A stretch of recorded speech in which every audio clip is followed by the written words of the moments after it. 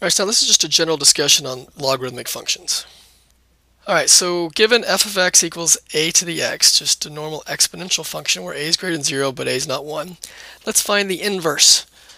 Alright, so remember those four steps? You'd say, alright, step 1, you'd get y equals a to the x. And step 2, uh, remember we switch x and y, so you have x equals a to the y. And then step 3, our goal was to isolate y.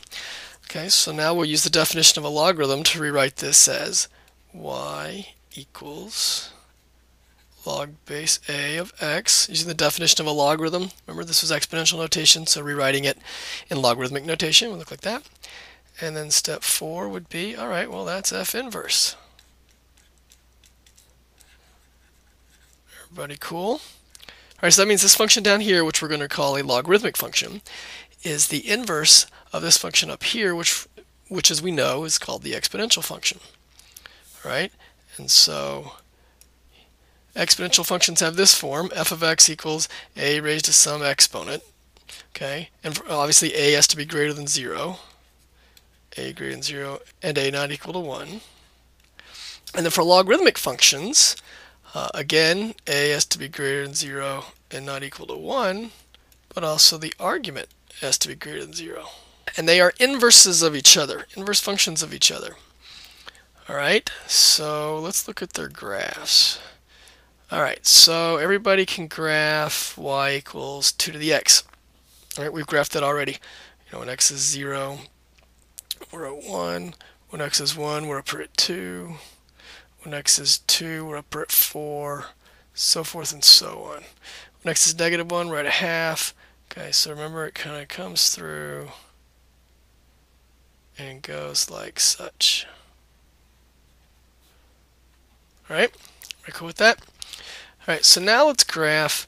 There's a couple ways to do it. I'm going to encourage you to rewrite this uh, logarithmic function in exponential form. So think of the g of x as a y, you know, y equals log base 2 of x, and then rewrite it as 2 to the y is equal to x. Right? Then when you do your your um, your t-chart, right, we can say, all right, this is x, this is y. We're going to plug numbers in for y. So when y is 0, x is 1. When y is 1, x is 2. When y is 2, x is 4. When y is 3, x is 8. When y is negative 1, x is a half, so forth and so on. Follow me? Okay, so this time we're going to go through 1, 0. And then when x is 2, we're up here at 1. When x is 4, we're up here at 2. When x is a half, we're down at negative 1.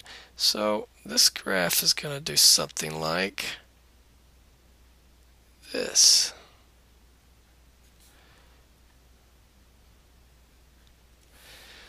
Right, see that? Because if we had at 8 before we ever get up to 3. So exponential functions, remember, had this horizontal asymptote. Well, logarithmic functions have this have a vertical asymptote, which I'll abbreviate as VA. Okay, in this case, the vertical asymptote is x equals 0, because x can never be 0 right? No matter what number you plug in for y, uh, you're never going to raise 2 to some number to give it equal to 0. So we've got this vertical asymptote, x equals 0. And the horizontal asymptote for the, for the red graph here was y equals 0, because it never hit the x-axis. The domain for the exponential function, the domain for f was all real numbers, but the domain, right, the domain of g Okay, and this is G. The domain of G is going to be 0 to infinity. All real numbers greater than 0. Right, and that makes sense because remember, we want our argument to be positive numbers. That's from the definition of the logarithm. The range of G would be all real numbers. Everybody see that? Every y value is being used. It's forever up, for, forever up, forever down. I mean, it's going to hit all the y values. It's just going to take a while because it grows so slowly. All right, and remember, if we had the the line y equals x coming through here. That's the line y equals x. That the graph of f of x and the graph of g of x here, since they're inverses of each other, they need to be symmetrical with respect to that line y equals x. Everybody see they are? Here's a question. Which function, the exponential function or the logarithmic function, grows at a faster rate? Which one increases at a faster rate? That's right, it's the exponential function.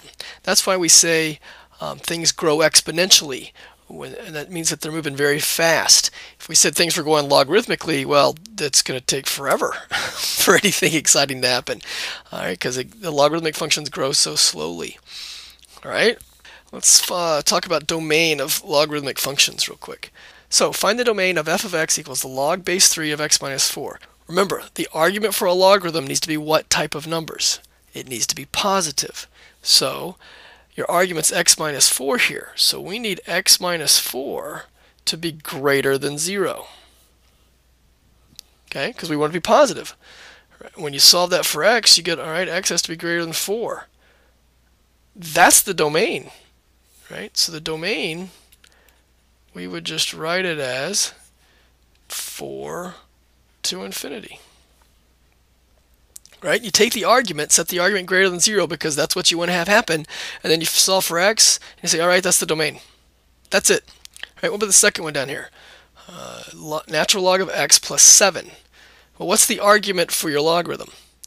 Yeah, it's just x, right? It's not x plus 7, it's just the x, right? So the domain down here would be x is greater than 0, right? 0 to infinity.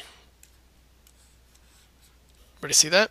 The plus 7 here, if you remember a while back, was just a, a vertical shift up of 7 units. So the, the, the graph of natural log of x, whatever it is, everything would just move up 7 units. Right? And remember the, the minus 4 inside the parentheses here, the x minus 4, that would be a, a shift uh, which direction? Sorry, it would be a shift to the right. It would take the, the log of x in base 3 and just move that graph 4 units to the right. All right, so that's the idea on finding the domain of, uh, of logarithmic functions. You just have to worry about what the argument is because you want that to be greater than zero. All right, so last concept. All right, so here's your function. Find f inverse. So just go through the steps. Step one, you get y equals 2 to the x minus 3. All right, step two is just switch the x's and the y's. And step three is isolate y. All right, so to do that, we need to do what first? That's right, we need to add the 3. All right, and now to isolate y, uh, we're written in exponential notation here, so we need to write it in logarithmic notation. So y equals log, what's the base? The base would be 2, and what's the argument? x plus 3. Now if I write it like that, is that okay? No, because the argument would just be x. Right, so make sure you put parentheses around this x plus 3 because the entire argument is x plus 3. Everybody with me? Very, very important we uh, get those parentheses in there to say, hey, all of this is the argument. All right, so y is isolated, so step 4 is go back to function notation. And we now have the inverse. This function down here is the inverse of this function up here. If you were to graph 2 to the x minus 3 and then graph log base 2 of x plus 3, graph those two functions, they would be symmetrical with respect to the line y equals x. You should try that in your calculator, right? See how that works. Put this in as y1, put this one in as y2, and for y3, put in y equals x, right? And they, these two should be symmetrical with respect to that y equals x line. All right, so that's the idea on logarithmic functions. Um, study well. Please let me know if you have any questions.